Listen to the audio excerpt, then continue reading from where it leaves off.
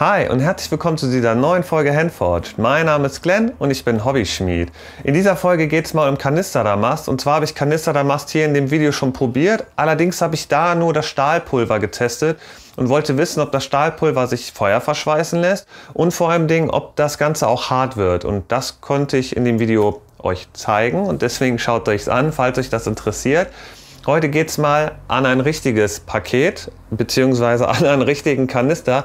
Und zwar ist das hier 60 auf 60 mm mit 2 mm Wandstärke, also einfach nur ein Vierkantrohr Baustahl. Das Ganze ist hier schon verfüllt mit Kugellagern und dem Stahlpulver. Und davon habe ich noch ein zweites Paket mit äh, 75 Ni8, also mit Werkzeugstahl, der sich beim Ätzen silber färben sollte, also der sich silber färbt beim Ätzen. Und den werde ich in diesem Video Feuer verschweißen und das Ganze einfach mal testen, wie das funktioniert. Dazu habe ich mir für meine Schmiedepresse noch einen anständigen, anständigen, ja gut, ich weiß nicht, ob er anständig ist, aber ich habe mir einen Aufsatz geschweißt für meine Schmiedepresse die an den Auf, an die Aufsätze erinnert, die man sonst aus dieser einen amerikanischen Sendung kennt, wo vier Schmiede gegeneinander antreten. Denn die machen ganz gerne mal Kanisterdamast. Im deutschsprachigen Raum äh, findet man dazu gut wie gar nichts hier auf YouTube und deswegen habe ich gedacht, mache ich jetzt noch mal ein etwas ausführlicheres Video beziehungsweise zeige euch mal oder einfach für mich aus Interesse, ich wollte einfach mal Kanisterdamast machen, richtigen Kanisterdamast und deswegen lege ich jetzt damit los. Ich würde sagen, ihr schaut mir wie gewohnt über die Schulter und ich wünsche euch viel Spaß beim Schauen.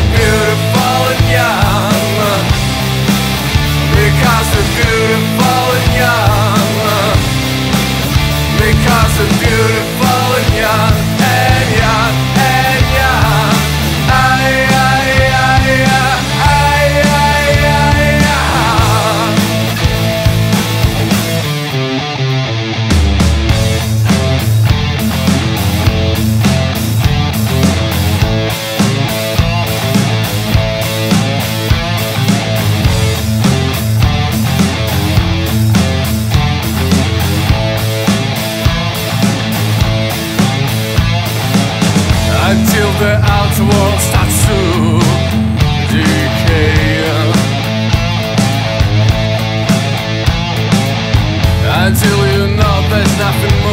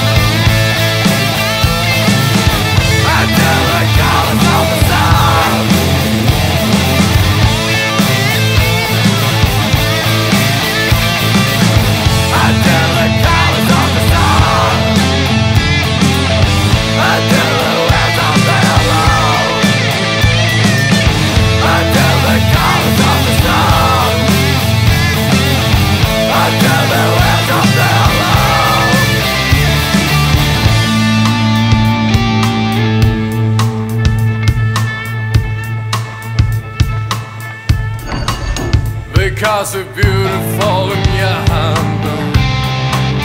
Because they're beautiful in your hand. Because they're beautiful in your hand.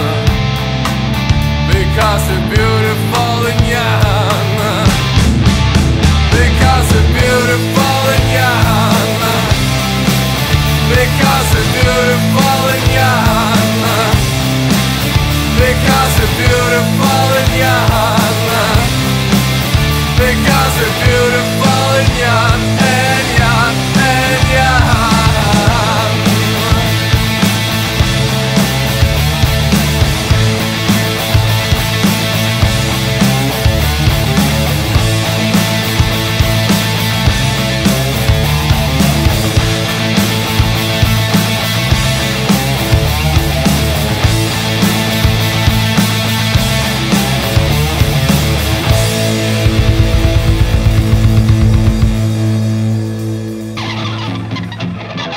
So, das mit dem Feuerverschweißen hat doch am Ende dann doch ganz gut geklappt. Am Anfang war ich, also als ich das erste Mal die Presse angeschmissen hatte, war ich nicht bei der richtigen Feuerschweißtemperatur.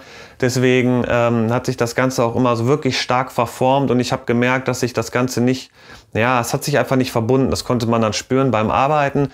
Das war dann beim zweiten Mal ähm, viel besser. Da habe ich dann gemerkt, okay, das Paket, das bleibt da, wo ich es haben möchte. Und das Ganze fing dann an, Feuer zu verschweißen. Das hat auch eigentlich ganz gut funktioniert. Diese Backen, die ich mir geschweißt habe, oder diese, diese Pressvorrichtung, ist ein Ticken zu klein. Ähm, vermutlich einfach nur, weil dieses Vierkantrohr mit 60 mm zu groß ist. Ich hätte vielleicht 50 nehmen sollen.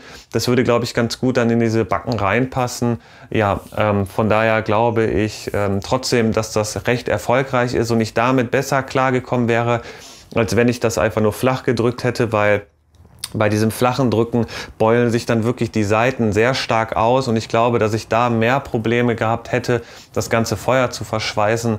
Außerdem, wenn die Amerikaner das machen, und die Amerikaner machen ja natürlich alles richtig, dann muss das schon irgendwie was dran sein. Ähm, und deswegen wollte ich das Ganze einfach mal testen. Ich bin mit diesem Stück sehr zufrieden, auch wenn das Stahlpulver noch so kleine Einschlüsse hat und man ja wie so eine Art Stahlstruktur sieht, die man eigentlich dürfte, also die man nicht sehen dürfte, denn beim 75 NI8 merkt man, da ist halt ähm, ähm, nichts drinne äh, oder man sieht keine Stahlstruktur. Hier sieht man noch so leichte, ja, so ein leichtes Krisseln. Das kann daran liegen, dass hier einfach Fremdstoffe auch im Stahlpulver drin sind. Das Stahlpulver ist halt nicht klassifiziert, das ist kein typischer Werkzeugstahl. Das kann natürlich sein, dass da jetzt irgendwelche Schlackereste oder irgendwas anderes mit drin ist. Ähm, das Ganze ist härtbar, das habe ich im vorigen Video schon getestet. Ob das Ganze als Schneidlage funktioniert, keine Ahnung. Ich werde es vermutlich trotzdem testen, weil mich das einfach interessiert und wissen möchte, wie das Material sich verhält. Ähm, aber ich gehe da mit einem leicht mulmigen Gefühl dran. Deswegen würde ich sagen, ähm, ihr schaut mir beim nächsten Video zu, wie ich daraus dann eine Klinge mache. Und ich glaube, weil ich zwei von diesen Paketen habe, werde ich ein Paket mal bei Instagram verlosen. Also wenn ihr dieses Päckchen gewinnen wollt, dann folgt mir einfach bei Instagram und äh, schaut euch die Bedingungen an. Ich werde das die nächsten Tage hochladen, das ganze Paket verlosen. Denn ich bin auch neugierig, wer von euch denn damit auch eine Klinge hinbekommt und wie ihr mit diesem Stück arbeiten würdet. Äh, und würde sagen, das war's für heute. Ich wünsche euch ein schönes Wochenende. Bis dahin oder bis zum nächsten Mal. Euer Glenn.